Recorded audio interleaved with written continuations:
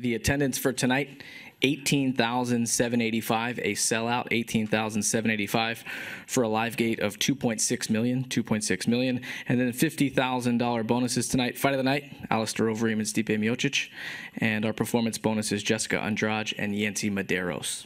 Thank God it's over. uh, yeah, he hit a lot harder than I thought. You know, he put me on my ass.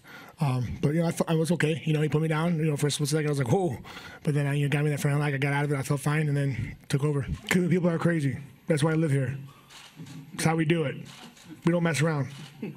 We wait till next week and then I go tailgating in the Browns game. You're gonna see a lot more fights. I'm not gonna be in one of them, but you know, we watch them. Uh, that's how we do it, man. You know, like uh, like I said, I'd rather fight Brazil, man, because I was just, uh, you know, I got a little emotional in my head for for a split second. You know, it was badass. You know, and then people were, you know, just, you know, just trying to mentally keep them out. But uh, it, it was, uh, I'm gonna remember this for the rest of my life. I feel great, man. Yeah, it's uh, it's a long time coming. Um, man, the past three weeks dragged. Like, you know, it was, it was six months. I knew this fight was gonna happen. You know what I mean? So, I'm happy to be through it. Uh, I'm I'm so super grateful for the opportunity, and I'm ready for you know the UFC killers now. That's what I want. I want war with the best guys in the world. This this fight was different. This I I, was fighting, and I, I don't want to be disparaging, but I, I was fighting, you know, an, an amateur.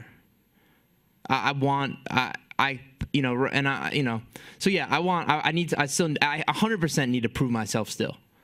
That's why you know I, want to I'm excited to get going now. Now the real now the real work, now the real fights, the real you know it's every fight's a fight. Um, he's trained in at Roufusport, great place. I, I, do feel a sense of accomplishment. Sure, uh, I came in there. I, I loved. I loved seeing the crowd, all that stuff. But yeah, it's it's not like I, I don't feel like I beat, you know, uh, a great fighter. I beat a fighter, not a great fighter. The process was magical. You know, I'm just disappointed. I'm I'm beating myself up way more than uh, than I got beat up. You know, I'm I'm supremely disappointed, but you know, the answer to your question is, uh, uh, aside from the outcome, wouldn't change anything for the world. It was uh, just being out there under the lights, most fun I've ever had, and to say it again, second best day of my life. First one was my wife when I married her. Thank you. My initial uh, venture into this was going to be at the lowest level. You know, um, this opportunity just got presented to myself. I would have been a fool to say no. Uh, I, I, I don't know what happens for you know from here on out. You know, and I, I, what if I get cut? I don't know. You know, you know what I mean. Um, I, think that's a possibility. Uh, do I want that to happen? No. Uh, but who's to say where I go from here? I don't know. I, I definitely want to keep going. You know, I. I'm the kind of guy, you know, I just I just fell off a bike, you know. I'm not I'm not just going to shelve it and leave it in the middle of the street. I got to get back on the ride.